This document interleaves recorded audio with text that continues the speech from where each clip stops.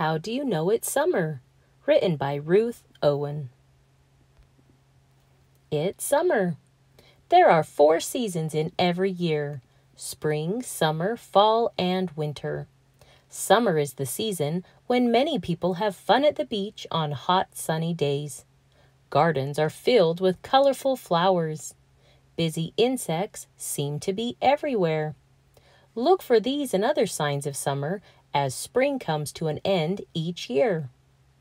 Each year, summer starts on either June 20th or June 21st. The first day of summer is marked on calendars. The longest day is here. As summer gets closer, there are more hours of light each day. Sometimes it is even still light outside at bedtime. The first day of summer is the longest day of the year. This means there are many more hours of light than darkness on that day. Once summer arrives and the longest day has passed, there are fewer hours of daylight each day. It's heating up. Hot weather is often a sign that summer has arrived.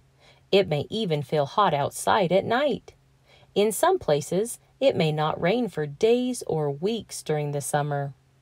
In some places, Summer is the time for thunderstorms. People may see lightning flashes and hear the rumble of thunder. Summer colors. Many plants grow colorful flowers in summertime. Butterflies and bees often go from flower to flower to find food. They are looking for the sweet liquid that flowers make. It is called nectar. Plants make seeds inside their flowers. The seeds drop from the flowers in late summer and fall. In spring, the seeds will grow into new plants. Green leaves. In spring, fat green buds grow on the branches of some trees. The buds burst open into flowers and leaves. By summer, however, the flowers have disappeared and the leaves cover the trees. There may be another clue that summer has arrived hidden among the leaves fruit.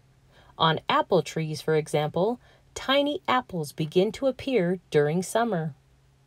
The leaves of a tree make a shady spot where people and animals can cool off on a hot day. Time to leave home. Summer is the season when many young animals leave their mothers. Squirrels are born in spring. By the summer, they are old enough to live on their own. They will build themselves homes called drays from twigs and leaves.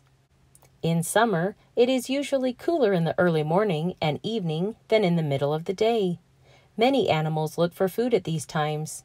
They rest in the shade during the hottest parts of the day. Taking off. Many young birds learn to fly in summer.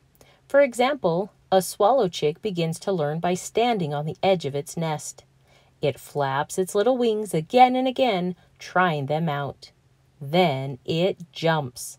With its mother and father close by, the young swallow takes its first flying lesson. Birds like to splash in water to cool off in the summer. Tiny signs of summer. In summer, you can see more insects than at any other time of year. Grasshoppers hop around on lawns, eating grass and other plants. Tiny aphids suck the juices from plants. Hungry ladybugs stay busy eating the aphids. Insects eat plants and other insects. In summer, it is easy for them to find lots of food. Summer in a garden. In summer, the seeds that people planted in spring have grown into plants. Giant sunflowers soar taller than a child.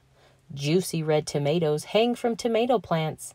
Crunchy carrots grow under the soil. Summer is the season when gardens are filled with flowers and good things to eat. Summer lasts until September 22nd or 23rd. Then fall begins. The end. This read aloud has been brought to you by Time to Read to Us. Hit the subscribe button for more kid friendly read alouds. Thanks for watching.